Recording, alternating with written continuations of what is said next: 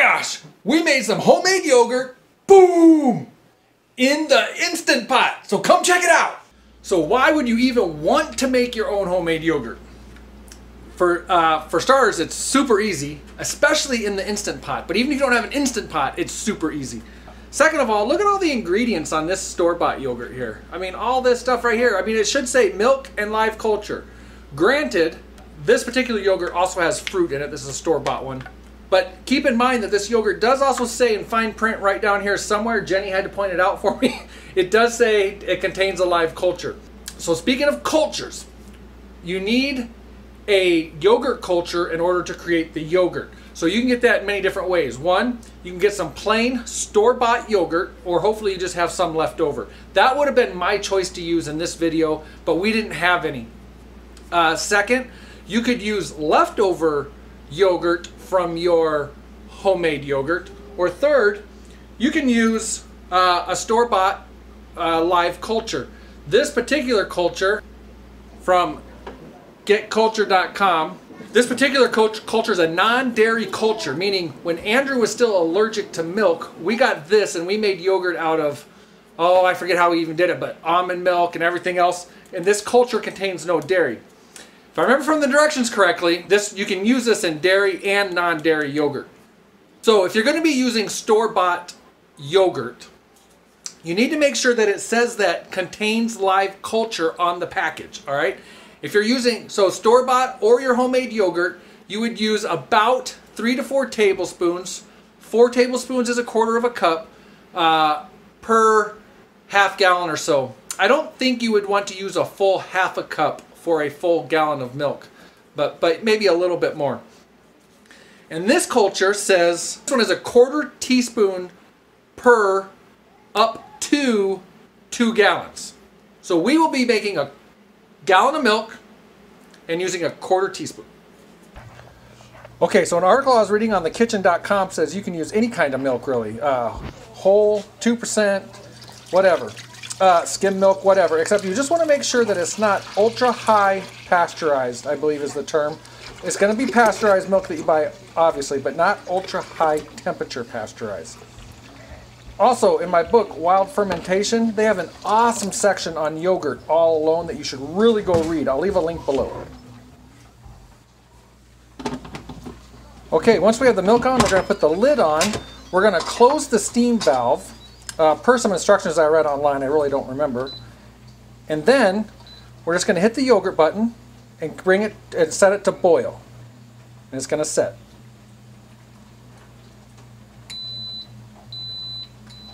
There we go. It beeped. It's good to go.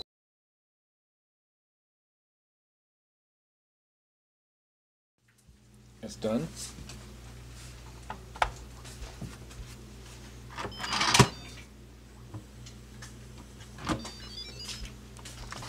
Now this boil setting, I don't think this milk actually boils, but I do think it gets up to 180, which is what is usually recommended for getting milk up to, I believe, 180 to kill everything in there in order for the yogurt to grow.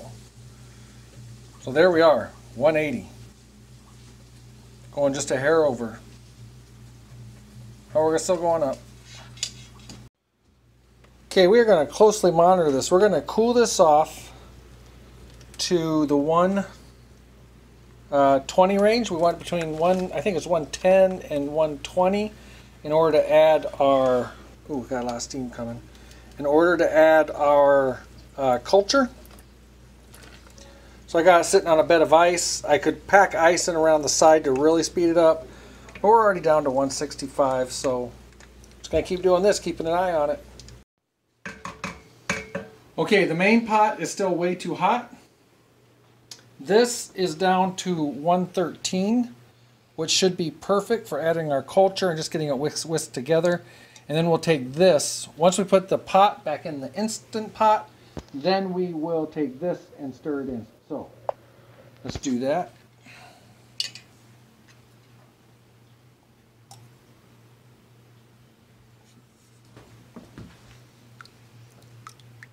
This is going to sit here. This is just to get it stirred in nice and easily and get it dissolved so that you can easily incorporate it into the bigger pot um, when that's cooled down, we'll do that. We're down to 120, it looks like right now, so we are almost ready to rock and roll on this.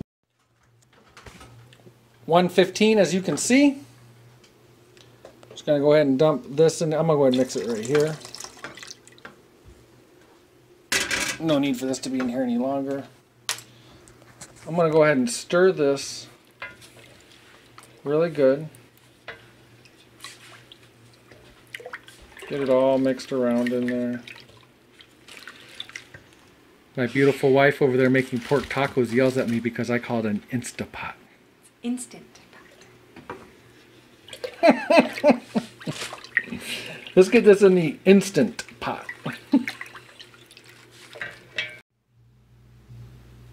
All right, as you can tell, my wife is videoing for me. We're gonna put this lid back on. Instructions I have read that are not from Instant Pot, just on the internet, said you can now either seal this or leave it open. Same results, doesn't matter. We're gonna go to the yogurt button and we are going to keep pressing it until we get to normal heat for eight hours. I'm going to leave it at eight hours, I think. Um, I probably want it to go longer. I, I, probably want it to go for 10 hours. Um, but when it's done in eight hours, I can reset it for another two. All right, there we go.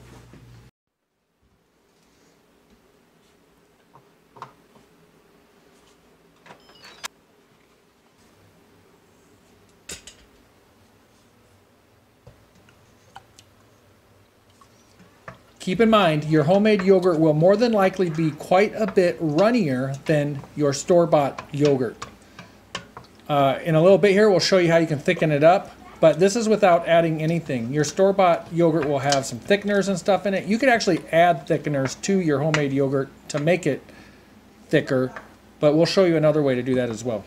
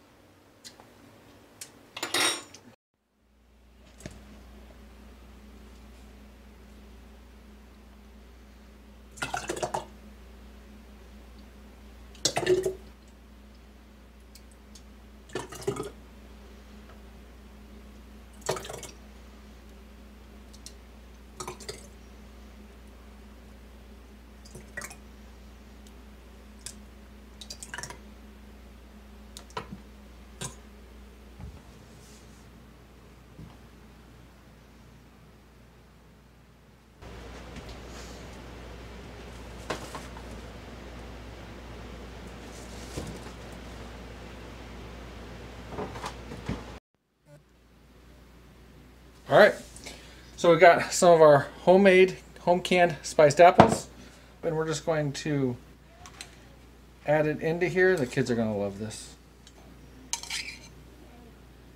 All right, Grace is coming in for a taste test. Homemade yogurt, homemade spiced apples, combined together for a whole bunch of goodness. Let's see, darling, go ahead and get some. Come on. I can't get that apple.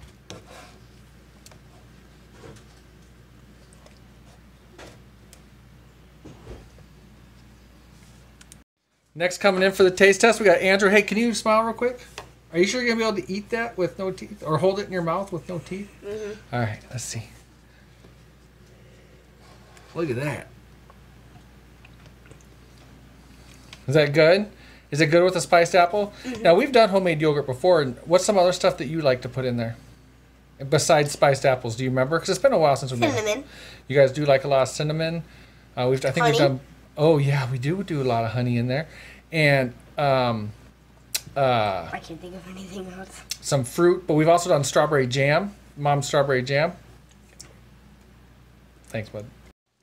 Next up, we got Faith. What do you think? Wait, real quick. Do you think you're gonna like it? Yeah. You do for real? Yeah. For real? Yeah. All right. For reals? Yeah.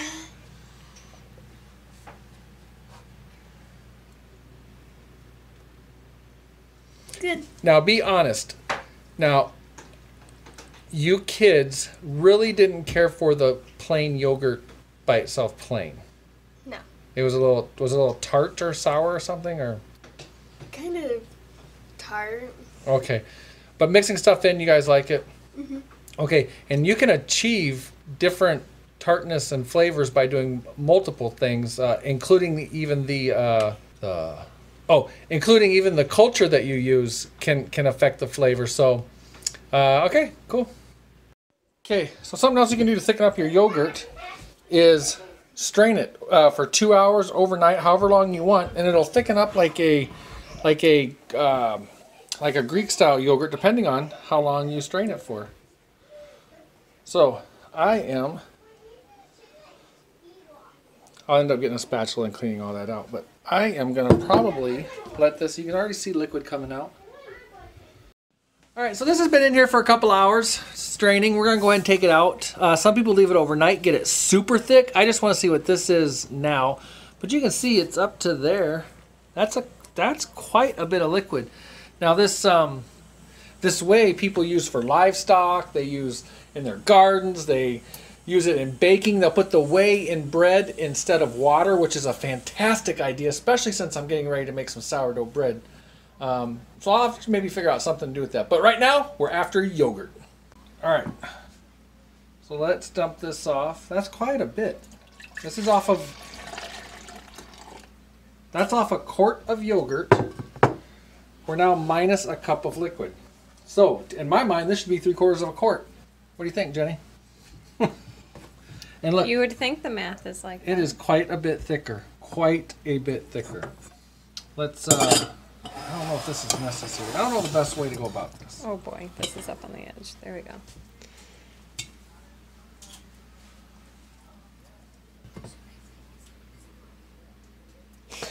It's almost like scooping ice cream. It is. Okay, I think I'm at a point.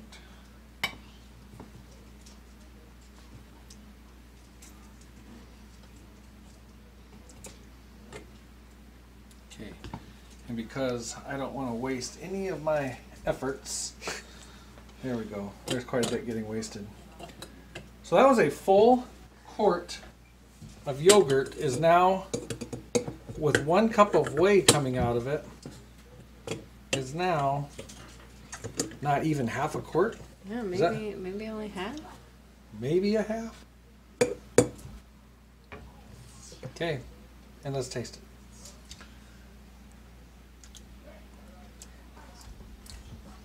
Now I think that's really good, and that texture is what I like a whole lot more than the runnier stuff. All right, easy peasy, instant pot yogurt. The whole process is super simple, even though this is a little bit longer video than I anticipated making. I thought this would be a super short video, but the process is super easy, very non-time consuming. If you have any questions, feel free to ask. You could always join our Facebook group Pratt Pack, where there's a ton of knowledgeable people in there that if I don't have an answer, I'm sure they will. So thanks for hanging out and watching Yogurt.